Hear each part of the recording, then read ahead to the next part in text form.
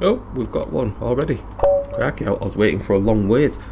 Trying to replicate the OTB experience, which is the 50-50 mark and draws. Um, okay, we're going to take here. We're going to take our time as well. We do have like a good, it's 90 minutes and 10 second game, so maybe don't rush it.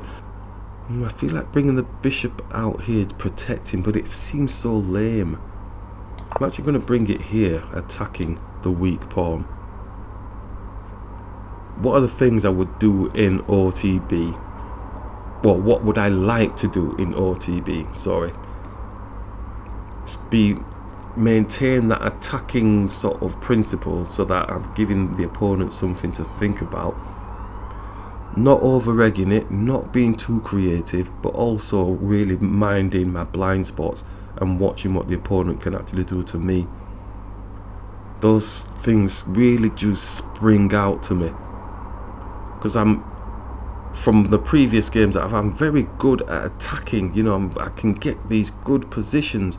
But the worst case scenario is that I'm ready in that attack position and then there's something, a little backdoor element that allows the opponent to get around and either checkmate me or I'm losing key pieces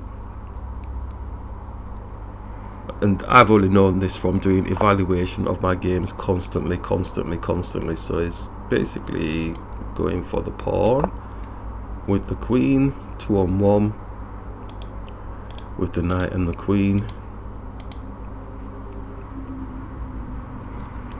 So we've got to castle. Oh is um, going for a queen exchange. So before I just take it off the board is there anything better? Can bring my bishop here to defend Am I losing out? Bring the bishop here. If his knight takes the pawn.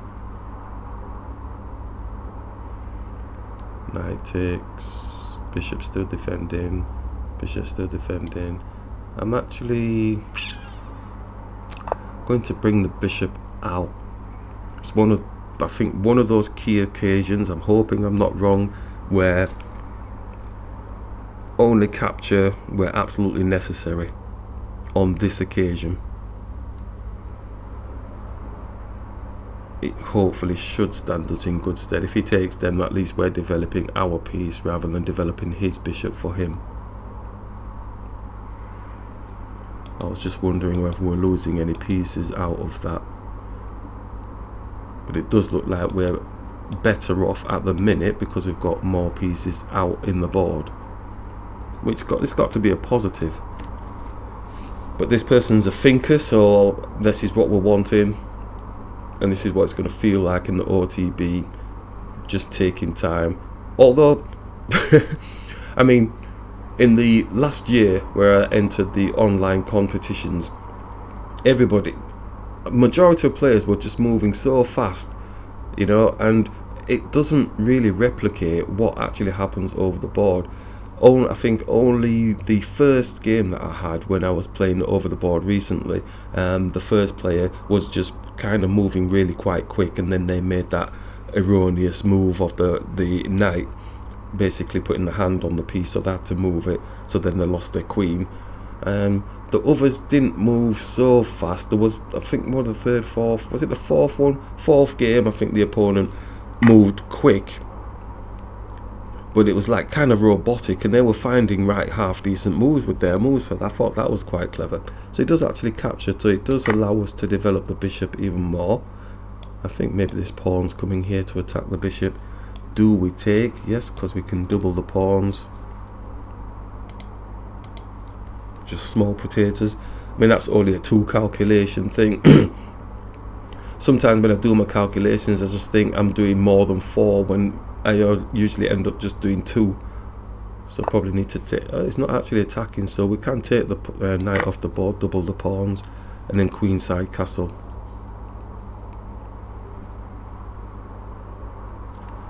So that was a quick move but we've already talked through that if the, if that was there we're going to take it. He might be a what is it two bishop specialist or whatever you call them but things uh, just think.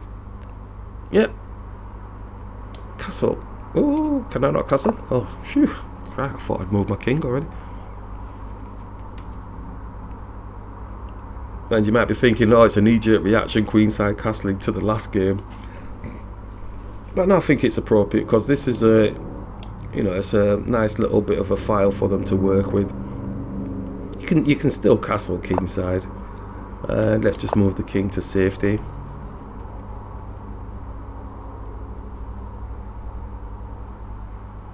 Okay, so what do we have? Do we want our knight staying here? Uh, it's got a bit of an attack situation going on. Out to come back in with the bishop? Or leaving it here? If we leave it here, he's feeling really good, doesn't he? He's like coming down, ramping down with the pawns. Can we just come here? I don't think there's much going there, is there? Let's do that. Yeah, he's just going to go for a pawn challenge, thinking he's winning with the pawns and not having to do anything with the rest of his pieces. That's what I feel is going to happen.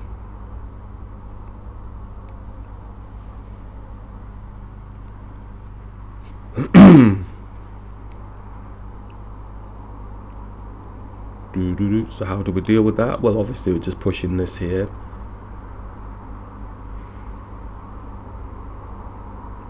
But it's taking its time so I'm not going to do any more calculations and just wait to see what they do. Do do do do do. Rook's chomping at the bit to go here. I said I'm not doing any more calculations. We'll just see. Just wait to see what the opponent does next. Got to learn to chill.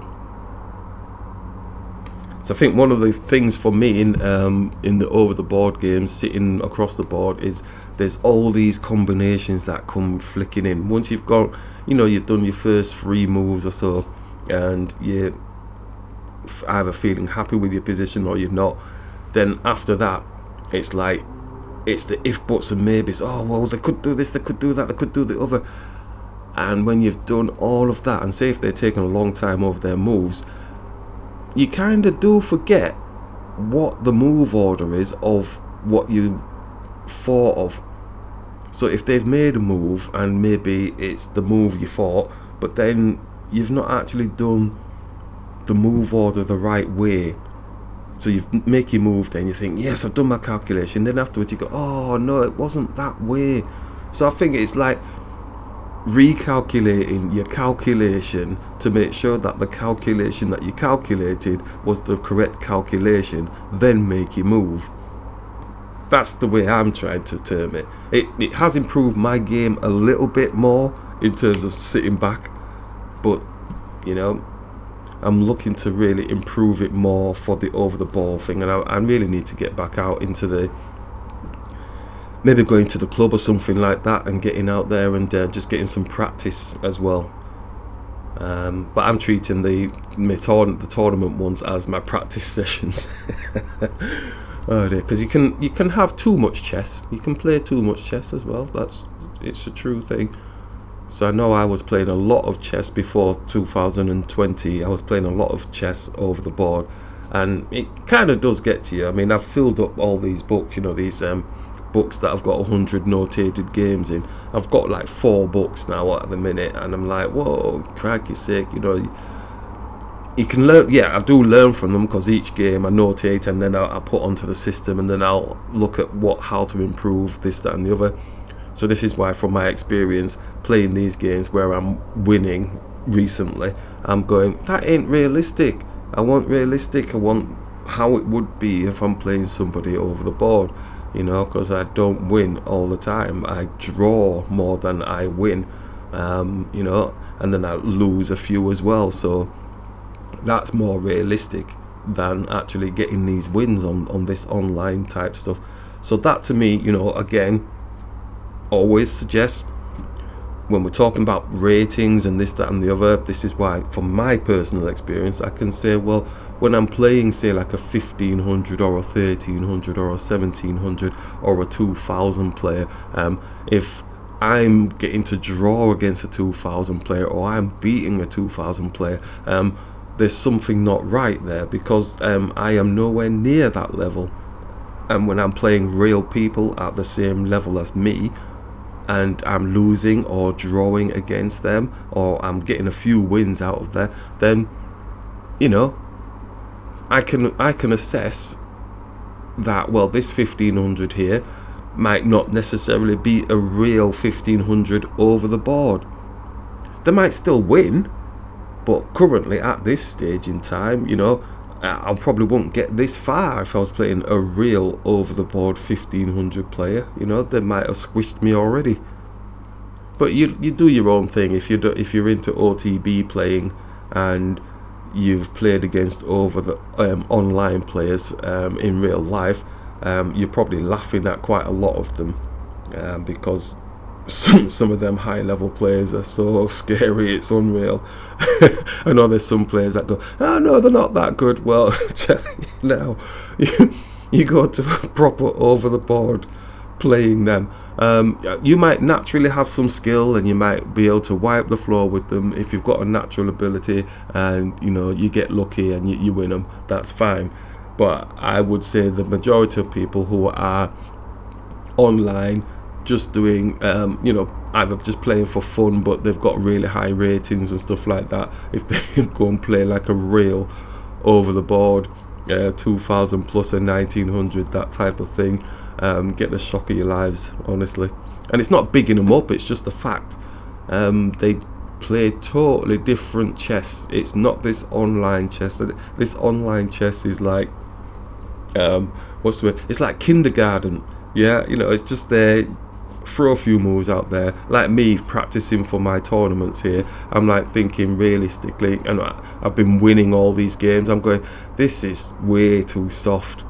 And it's no slant on the players the players are playing what they play um, it's just that realistically um, this is like it's like primary school you know it's like um, first school that you go to and then when you go into the big bad world where you've gone into high school pre and then university and then you think that you're really good you've gone to the university and then you come out into the real world you go into a park somewhere you see this uh, little old man just sitting there playing chess and you go damn i've been to university. I'm a champion in this that and the other. I'll wipe the floor with this guy. You go and sit opposite this guy and this guy kicks your ass good and proper yeah? Why? Because he's real He's the real deal. Yeah. Um, the players at this moment in time that I'm playing are not the real deal. Even though I'm, i can lose online, I can. Um, it, it's it's not real. It's it's it's kind of not. It's nice for demonstration, you know, to show skills and you know movements on the board and concepts and ideas. Um, I just want it to be more realistic. I don't want kindergarten type chess. I want proper chess. I want to be put under pressure, but not computerized pressure. I want human pressure. There is a difference. Anyone listening to this, uh, I'm, I'm wanting pressure. I'm wanting good quality play, but I'm wanting human pressure. Yeah, I can't beat a computer. Just play as a human and you know I can tell the difference you know? And so just chill with it well you know I'm going to try and make him look stupid that type of stuff. I ain't interested in that. I just want to practice for my OTB against humans. And I'm searching for loss at this moment in time. I've got one loss at the minute out of probably I can't remember can't remember how many games I've played. Is it 10 or 11 or something like that yeah, it might be less. No, 10 or, no, is it 10? God, we have time to actually go and flick on and see, don't we? Because this guy's taking a while. Oh no, it looks like they might have left the game. Oh no, opponent left the game, you can claim victory. Oh, he's going to come back, it's a hundred and something seconds. Uh, what, can I just flip over and just um, have a look while we're waiting?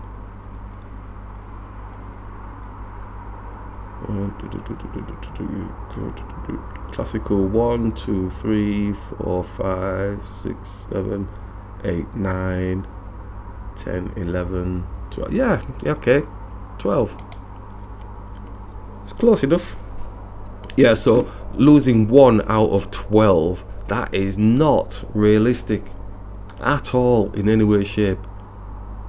It doesn't it is back he's back Okay, so he's gone for a long break. He's come off. He's come back now. I am hoping he's not going to come back with superpowers. I'm hoping he's still staying as a human because there's no need. It's only a casual game. There's no ratings involved in this. Okay, so he's come out with the. Is this magic now? I'm going to fall into magic, aren't I? All that thinking and my rook can take this pawn.